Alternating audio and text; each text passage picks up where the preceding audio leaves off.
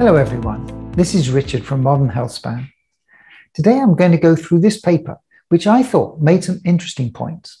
How healthy is the healthspan concept? From Professor Matt Kaeberlein.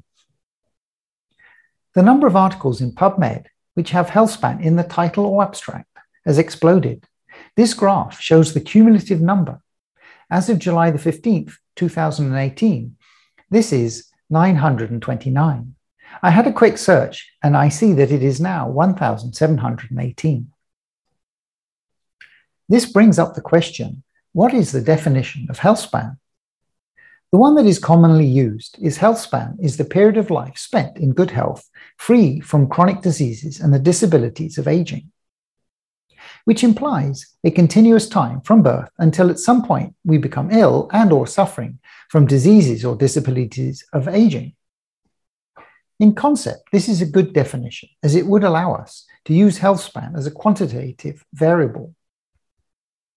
It is important that we define health span as we may be able to improve health span but not lifespan, and this would certainly be valuable and we would want to measure this effect separate from the lifespan so we can see the benefit.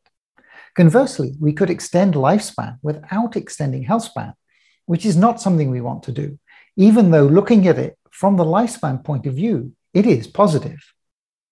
Professor Kaeberlein proposes that there should be a standard 10 point scale of health, similar to that for frailty. At some point, we could define that health span has ended, or more usefully, we can calculate the area under the curve.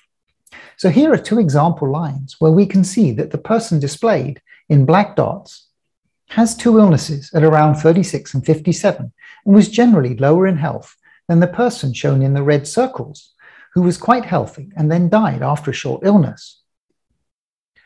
Both people died at 87, but the area under the curve of the health span is very different 610 versus 796. And this mechanism would allow us to put a solid metric to the difference.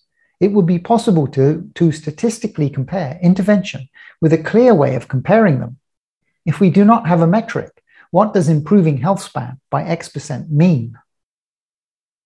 Professor Kaeberlein proposes that healthspan should not be used in scientific literature until such a metric is developed.